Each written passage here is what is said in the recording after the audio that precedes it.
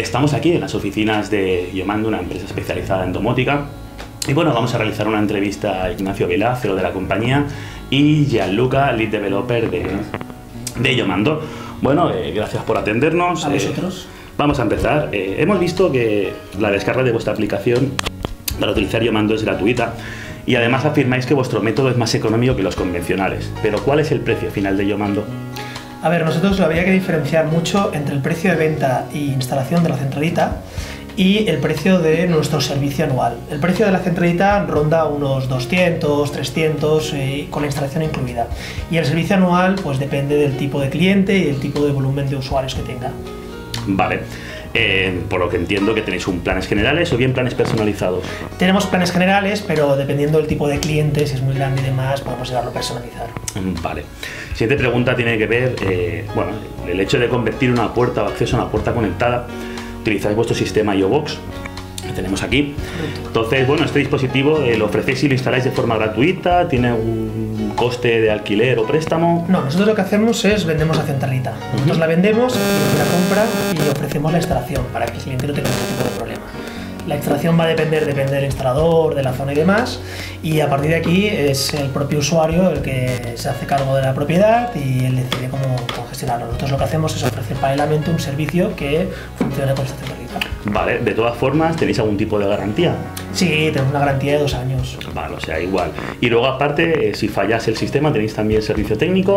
Sí, tenemos un servicio técnico que funciona en horario comercial y un poco más flexible. También intentamos eh, atender eh, a, a las más, máximas horas posibles, pero aún en 724. Eso es- lo estamos trabajando para hacerlo próximamente. Vale, pero entiendo que ahora mismo, si a las 6 de la tarde, por ejemplo, me falla el sistema, Ningún problema. Hay gente que la atenderá y intentaremos solucionar la, la incidencia lo más rápido posible. Pero en, en principio no suelen haber problemas. Vale. Luego existen otras soluciones actuales eh, orientadas a viviendas particulares como Augusto Kiebo y están ganando cada vez más popularidad. Eh, ¿Vosotros tenéis planes para llegar a usuarios finales o os vais a centrar más bien en un modelo profesional? A ver, nosotros eh, el nivel del nicho de mercado de las casas no es nuestro target. Es decir, ahí hay empresas muy buenas que llevan igual de años que nosotros operando, que se centraron desde el principio en ellos, con unos softwares y unos hardwares muy trabajados, es decir, tienen- son muy potentes, tienen cámaras, tienen de todo. Nosotros más nos, hemos centrado en otro tipo de, de- de nichos, como son los, las comunidades y los clientes profesionales. Ahí es donde nuestro valor añadido es superior. Es decir, una casa pagar una cuota anual eh, pudiendo tener otros productos que son wifi no le veo sentido, pero una comunidad donde no, no tienes acceso a wifi, donde necesitas unas herramientas de gestión y de control de accesos más potentes, ahí es donde nosotros estamos añadido. Vale. Eh, bueno, el método de autentificación de usuarios lo realizáis mediante el uso de una app a cada número de teléfono. ¿También funciona en tablets o ordenadores para...? A ver, nosotros podemos abrir desde ordenadores, el administrador podría. Y a nivel de usuarios sí que puede, funcionan en las tablets iOS, pero no funcionan las tablets Android. Vale, bueno, a ver, que es un poco tonto teniendo en cuenta que necesitas, entiendo, una, una tarjeta así. Exactamente. Pero bueno, pues si algún usuario va con una tablet, pues mira, Sí, al en menos sabes que... En principio solo funcionaría con los móviles, que es la, la idea es esa. Perfecto.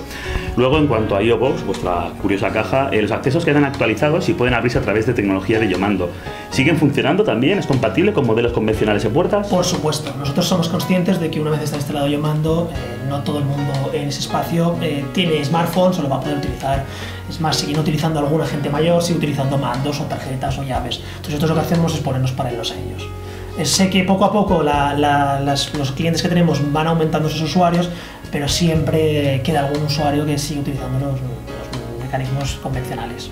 Vale, ¿y qué tipo de tecnología de conectividad utiliza IOBox? Nosotros lo que utilizamos, bueno, si quieres lo que lo va a explicar mejor es nuestro líder de developer Gianluca. Pues cuéntanos cómo funciona la, la tecnología de conectividad de IOBox. Mira, nada, la, la, la IOBox tiene su modem interno, simplemente tiene una, una SIM que se conecta a internet. Toda la IOBox están, eso es importante, están debajo de una VPN, eso para garantizar la, la seguridad. Y cada usuario, en este caso cada, cada móvil, tiene, tiene un código de acceso que solo está en el móvil. Y, y va con una clave de sesión que cambia cada vez que un usuario se, se conecta. Así que solo el, el, usuario mismo puede abrir y solo las peticiones que llegan a la placa, solo las que salen de nuestro servicio, pueden llegar a la placa. Así que afuera de la VPN no puede, no puede pasar nada. Vale, o sea, entiendo que es evidentemente muchísimo más seguro que un mando convencional. Es que es muy sensible, es muy sensible la seguridad en este caso, sobre todo por eso, por eso. trabajamos con empresas y nuestras empresas quieren, quieren seguridad y hombre, debajo de una VPN estamos bastante seguros. Vale, perfecto. Eh, bueno, es verdad, ¿hace falta algún tipo de conexión a internet, evidentemente, para que funcione o...? Claro, el móvil tiene que estar con, conectado con, 3G, supongo. Internet, con 3G, con Wi-Fi también, porque el móvil ah, podría estar conectado con Wi-Fi, y, pero la placa sí que tiene que estar conectada por, por GSM. Esto porque, como te decía, la VPN solo acepta esas conexiones específicas. Perfecto. Bueno, eh, aprovecho esta pregunta, también supongo estará orientada hacia ti. Eh, con las recientes presentaciones de los nuevos modelos Lumia de Microsoft, ¿estáis, eh, bueno, estáis, hacer? ¿estáis pensando en optimizar la aplicación para Windows Phone? Obviamente esto es un mundo que es súper rápido. Nosotros siempre estamos actualizando, siempre estamos cambiando, siempre estamos renovando. Sobre todo ahora estamos pensando en una aplicación que pueda ser fruible no solo desde Windows Phone, sino también de cualquier dispositivo que sea capaz de hacer una petición HTTP, que sea uno de los antiguos y, de BlackBerry, por ejemplo, que ya, no, que ya no saliendo. nadie con esto, pero vamos a desarrollar algo que sea fruible por cualquier dispositivo que pueda hacer una petición HTTP. Vale. Bueno, por ahora la verdad es que el producto tiene buena pinta, pero ¿tenéis alguna gran compañía que haya confiado en vosotros? Sí, la verdad, una de las primeras que confió en nosotros y apostó fue Bank Sabadell. Es una de las compañías donde más a gusto hemos trabajado y más confianza tenemos y con ellos creo que también están muy a gusto. Eh, justamente hace nada han renovado nuestra confianza y nos han metido en un nuevo proyecto que tienen ellos tecnológico para poder seguir desarrollando nuestra, nuestra tecnología en espacios suyos. Y la verdad es que sí, tenemos como Bank Sabadell algún cliente más también grande. Vale. Bueno, actualmente estáis afianzando vuestra estrategia comercial en España, pero ¿tenéis eh, intención de expandiros a mercados internacionales? Efectivamente, nosotros desarrollamos la tecnología para poder trabajar en cualquier ámbito internacional, es decir, en cualquier parte del mundo. Lo único que necesitábamos es un punto de conexión eléctrica. Eh, a partir de aquí, nosotros hemos estado trabajando para empezar a abrir mercados y hacer las primeras pruebas en el extranjero, sobre todo para ver cómo cómo iba funcionando nuestra, nuestros sistemas de conexión con las líneas locales. Y la verdad es que hemos empezado a vender las primeras unidades a Brasil y a Uruguay y de momento estamos bastante contentos. Poco a poco. Sí. Y ya por último, eh, ya que tenéis una plataforma para controlar la apertura de puertas de accesos y os habéis convertido en especialistas en Internet de las Cosas, ¿tenéis pensado utilizar esa tecnología de alguna manera eh, para ampliar vuestro negocio? Sí, efectivamente, nosotros lo que hemos hecho es, eh, ya hicimos hace un año y medio, es eh, licenciarnos de tecnología, poder poner a disposición de terceros la experiencia que tenemos y nuestra solución para que ellos puedan ofrecerse a sus clientes. Es, vamos, por medio de, un, canal API eh, hacemos que la gente pueda utilizar y desarrollarse a través de nuestro. Vale.